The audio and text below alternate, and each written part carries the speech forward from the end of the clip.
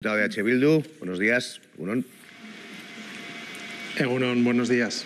Bueno, vamos, estamos aquí discutiendo eh, sobre el fondo y sobre la forma. Quizás nos llama también mucha atención la forma, porque al gobierno le sorprendió que ustedes anunciaran ayer el acuerdo. ¿Lo hicieron así porque les apeteció ayer o por qué motivo?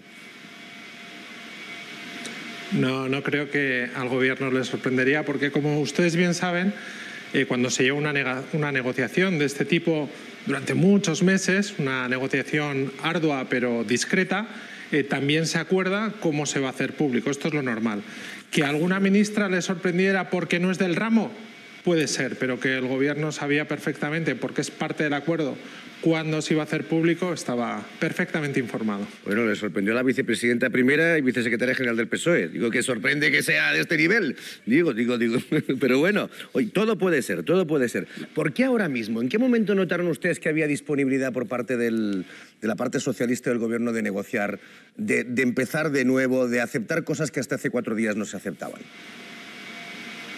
Bueno, como bien señalabais, en la legislatura anterior, lamentablemente, esta nueva ley no pudo salir a la luz, ya que había cuatro asuntos desde nuestro punto de vista, tanto de Esquerra Republicana como de Euskal Herria Bildu, que eran fundamentales porque se encontraban los artículos con los que más se sanciona, con esa ley de seguridad ciudadana también llamada ley Mordaza, y también los elementos de material antidisturbios y las devoluciones en caliente en frontera. Esos cuatro elementos hacían que si no se modificaban nosotros no íbamos a dar apoyo a esa ley. Desde el inicio de esta legislatura, hace ya un año, Euskal Herria Bildu y el Partido Socialista vienen hablando sobre esta ley, intercambiando papeles, muchas reuniones, trabajo arduo pero con discreción. ¿Por qué ahora? Yo creo que el tiempo ha hecho su trabajo y en este momento el Gobierno se da cuenta que no habiendo una mayoría de izquierdas, porque lamentablemente no la hay en esta Cámara, son difíciles de aprobar eh, medidas y leyes de carácter social, pero donde sí hay un terreno para avanzar son en todas aquellas leyes que se dotan de una normativa más garantista y más democrática en el Estado, ya sea ley de seguridad ciudadana, ya sea ley del CNI, ya sea ley de secretos oficiales. Yo creo que hay, sí hay terreno para que esta mayoría plurinacional, pero también más garantista y más, si me lo permiten, prodemocrática y pro derechos, pues pueda avanzar. Teme que Podemos pueda tumbar esto porque ha dicho que le parece una reforma cosmética. Bueno, yo respeto la opinión de todas las fuerzas políticas. Es cierto que en, que en la legislatura anterior estaba conformado el Grupo Podemos de diferente manera. Y si lo aprobaban en este momento que hay dos grupos, Sumar, que apoya, y que Podemos, que ha mostrado ciertas reticencias, pero en ningún caso yo considero que, Podemos vaya, vaya a tumbar esta nueva ley más garantista, que aporta derechos a la ciudadanía y que también en el componente de seguridad es mucho más garantista. Yo creo que es un posicionamiento legítimo, pero no dudo de que finalmente vayan a apoyar esta, esta nueva ley. Cuéntanos un poco cómo va a ser el proceso. ¿Va a empezarse a tramitar ya de inmediato? Por, saber, por ejemplo, en qué momento pues ya se descartarán las pelotas de goma. ¿Cómo va a ser esa eliminación de las pelotas de goma de, los, de la policía, de la Guardia Civil?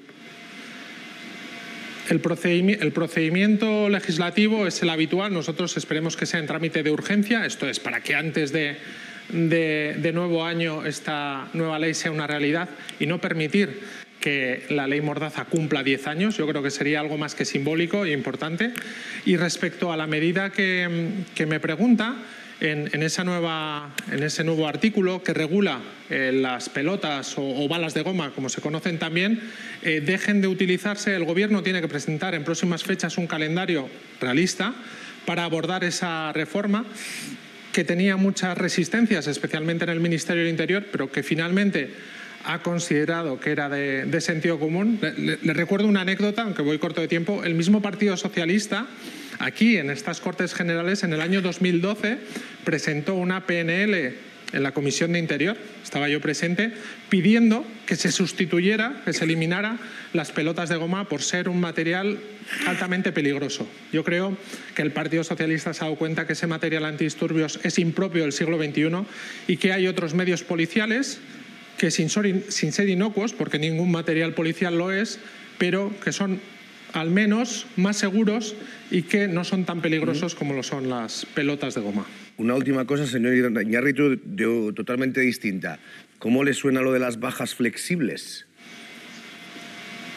Mal, mal, porque ya sabemos cómo se suele o, se puede utilizar esa interpretación de la norma. O se está de baja o no se está de baja, o se está embarazada o no se está embarazada. Yo creo que el Gobierno se equivoca si va por esa línea porque habrá muchas personas que se puedan sentir forzadas y obligadas a ir a trabajar bajo esa supuesta voluntariedad en una situación que, no conviene a esas personas por su estado de salud. Si alguien se encuentra bien para ir a trabajar, puede solicitar el alta, pero esto de estar de baja y poder ir a trabajar a mí no me suena nada bien, la verdad.